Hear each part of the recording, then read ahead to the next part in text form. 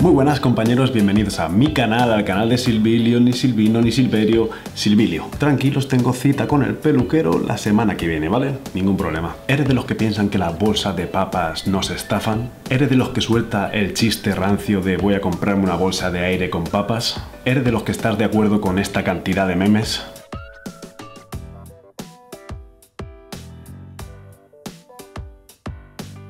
Pues tranquilo, tranquilo, no estás solo en este mundo. Eso es un hecho que todos sabemos. La pregunta es, ¿por qué las marcas de papas de bolsa de patatas hacen esto? ¿Es realmente una estrategia de marketing o simplemente un tema práctico? Lo que está claro y es con lo que se defienden estas marcas es que, bueno, eso que decimos nosotros que es aire, no es aire, es nitrógeno. ¿Qué hace este nitrógeno? Mantiene la frescura del producto para que se mantenga bien, para que no salgan las patatas añicos. Y sí, no les falta razón, eso es totalmente cierto, pero ¿Cuánta cantidad de nitrógeno hace falta? ¿Es necesaria tanta? ¿Por qué se diseñan estos packaging? Para el que no lo sepa, packaging es como el embalaje del producto, que muchos diseñadores trabajan exclusivamente en los mejores packaging.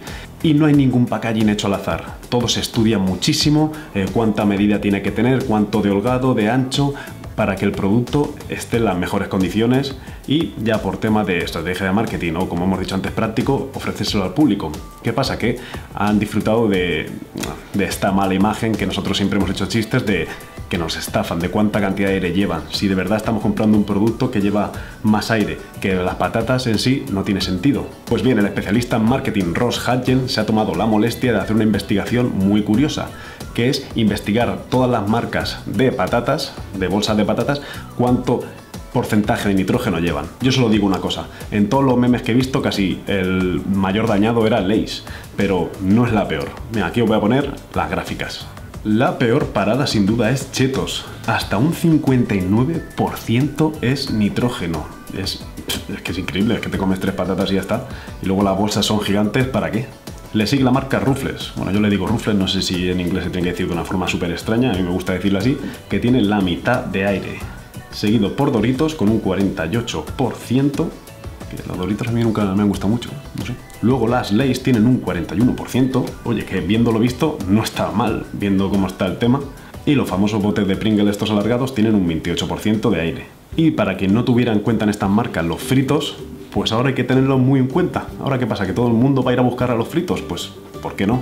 Porque tiene un 19% de nitrógeno únicamente es la que más cantidad de patatas tiene. Bien, la fuente de este estudio es Bored Panda, ¿eh? no lo he hecho yo, eh, hay que decir la fuente siempre, Bored Panda, ¿vale? Ha hecho este estudio junto con Ross Hudgen y la verdad es que es curioso, da para debate. Igual que da para debate si vamos mucho más allá de todo esto. ¿A qué me refiero con ir más allá? Al impacto ecológico que esto tiene. Muchos memes, esto causa mucha Estamos aquí en San Vicente, donde vivo, en el pueblo este, estamos de hogueras, ¿vale? Entonces vais a escuchar petardos por todos lados. Estamos con mucha risa de, ay, el aire que lleva, me comprado una bolsa de aire con patatas, tal. Pero si nos ponemos a pensar, ¿qué estaría pasando? Mira, ¿qué pasa porque las bolsas de patata no se llenan del todo? Bien, pues imaginaos la cantidad de plástico que se utiliza para los packaging una inmensidad de plástico para cuatro patatas, al fin y al cabo. El plástico, lo digo ya desde el corazón, eh, yo soy el primero que tengo que coger conciencia de esto, pero el plástico hay que eliminarlo ya de nuestras vidas porque nos está reventando el medio ambiente. ¿eh? Casi no me puedo poner en serio, está mandando un mensaje social increíble y viene un petardo y me asusta aquí. Otra cosa que parece una tontería es que las patatas rellenas de aire eh, ocupan más espacio para las mismas patatas. 9 de cada 10 camiones de transporte de Doritos, por ejemplo, no tendrían que estar en las carreteras si no tuviera tanto aire. Fijaros el insight de lo que parecía una tontería de que todos sabemos de ah, las bolsas que solo llevan aire tal. Al final, si te pones a pensar mucho más allá, puede llegar muy lejos y todo desemboca en el medio ambiente. Las marcas por tema de estrategia de marketing o por temas prácticos, esto es un buen debate que me gustaría que participarais vosotros también, porque es un debate abierto que todo el mundo conocemos, que todo el mundo hemos sufrido y a ver qué opináis vosotros, ¿no? Estaría bien que las marcas hicieran algo respecto ante esto? quién sabe. Lo que sí que se tiene que hacer al respecto es que traigáis un buen like a este vídeo, voy a traer más curiosidades de estas, compartid el vídeo si os ha gustado, suscribiros, darle a la campanita para que os sacan los alarmas cuando suba vídeos y me despido aquí, ¿vale? Intentaré venir lo más pronto posible. Así que me despido. Chao, chao compañeros.